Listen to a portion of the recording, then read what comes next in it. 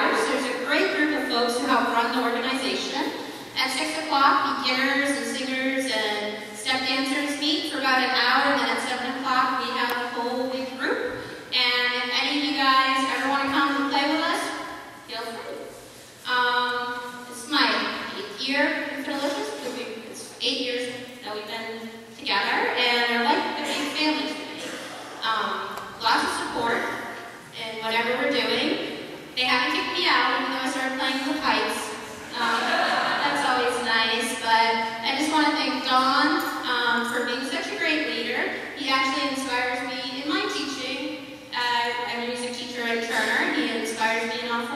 and for Sydney and Jay, our steady rocks of this group. They keep us going. So